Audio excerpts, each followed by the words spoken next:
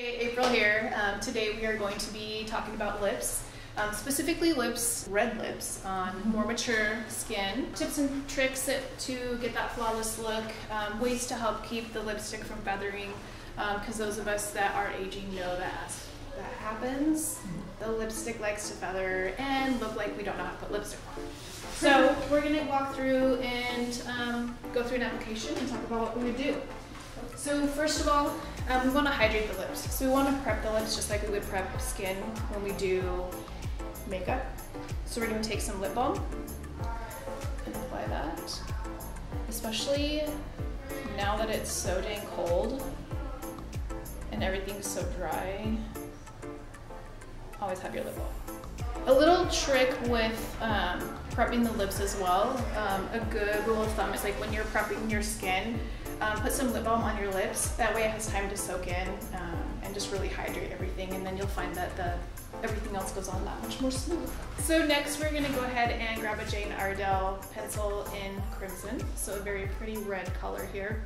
Lip liner is going to be key for helping to stop the feathering of the lipstick as well. It's going to one, line the lips and make the lipstick application that much easier. It's also going to provide a barrier um, to stop the lipstick from going into those little fine lines that we have around the lips. So we are going to carefully line the lips and with um, more mature skin, I want to avoid over drawing the lips as well.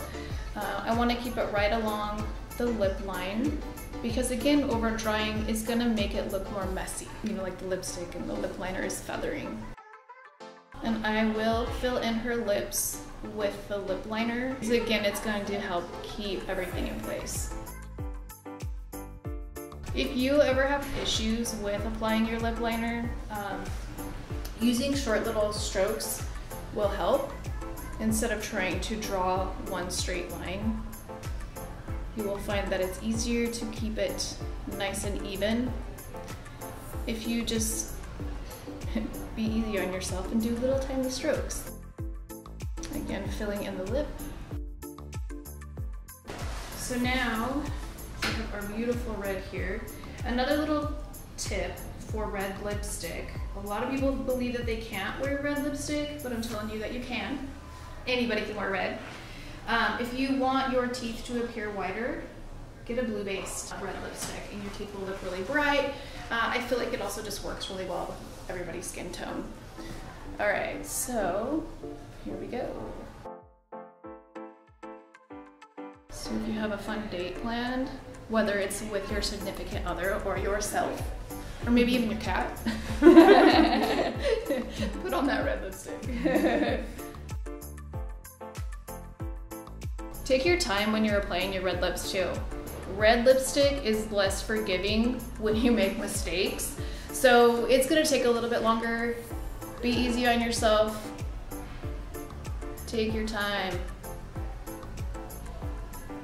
Q-tips are your friend as well. It helps clean up any mistakes that you might make. Next what I'm going to do is I'm to take a little bit of a lip gloss and just put it over the middle of her lips. This will also help with kind of the lips appearing more full or even more hydrated. So I'm just going to place it carefully the center of the lips. Being really careful not to go too close to the edge because lip gloss has a tendency to feather a lot more easily because it's more hydrating and it moves out so we just want to be careful not to take it out too far.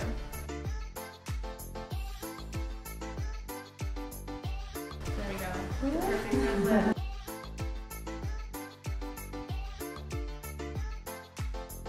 Yes, I love it. Oh, let me get some pictures too.